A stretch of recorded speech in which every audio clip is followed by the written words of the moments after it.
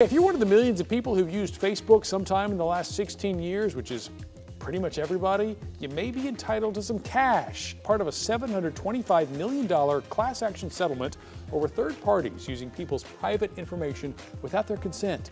To apply, you can just fill out a form. We've linked to it on our website at WFAA.com.